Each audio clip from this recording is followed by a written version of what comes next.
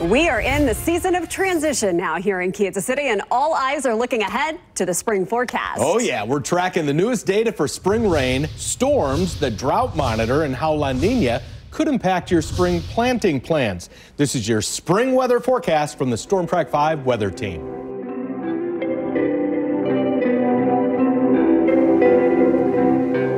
When you mm. think of the spring, you think storms. And this is the newest update on where rainfall amounts could land this spring. Above normal precip expected to the east of Kansas City with some below normal drier conditions of potential over Kansas and the Rockies.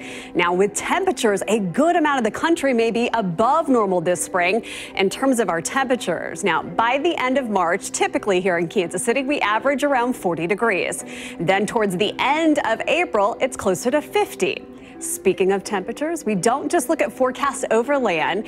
With weather team coverage for you this evening, Bill has more on the impacts from La Nina. We can look at sea surface temperatures for hints on what weather may develop downstream. That's what La Nina and El Nino are, variation in sea surface temperature in the equatorial Pacific and its relationship with the Earth's atmosphere. El Nino is when water temperatures are abnormally warm. Now we're currently in a La Nina pattern, which, you guessed it, means sea temperatures are colder than normal. Historically, La Nina patterns suggest drier weather for the southern Midwest and wetter patterns for areas in the Ohio River Valley. Now, we look to remain in a La Nina pattern for the next few months, sea surface temperatures are later forecasted to increase to a neutral state, which could bring more favorable conditions for rain. For more on where we currently sit with precipitation or lack thereof, here's meteorologist Alina Lee.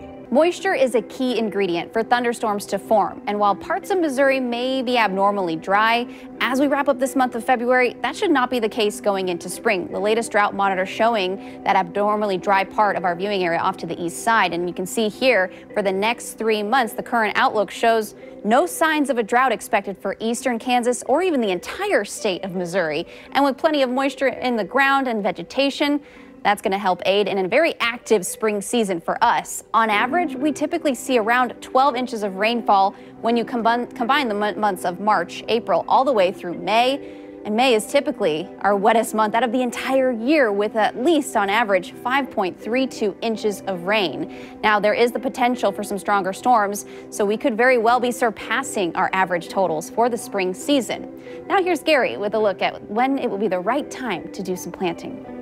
Because of the slightly warmer spring Aaron just told you about, your planting season may be adjusted by a few days. The early planting season, which are mainly your root plants and a few others, well, as soon as the soil is ready and you can get into it, you can start planting. So if you plant your potatoes on St. Patrick's Day, you may as well just keep it the same. Now, the mid-season planting could be moved up a few days. For example, I typically plant tomatoes the first week of May. Because of the potential for a warmer spring, I may buy my plants a few days earlier than normal, and I may shift my dates to plant maybe as early as late April. Keep in mind, a surprise late season freeze could still happen, so keep an eye on those seven day forecasts before planting. There are always a lot of dynamics in our atmosphere as we approach the spring months here in Kansas City. And those same dynamics could mean higher heat energy. With more heat energy forecast this spring, that could also mean more potential for stronger storms. And there is one thing that we are certain of. When storms threaten, we're here to keep you safe. The Storm Track 5 weather team has you completely covered. With live power Doppler, our mobile storm tracker in the field, weather team coverage 24 7 right here at KCTV 5.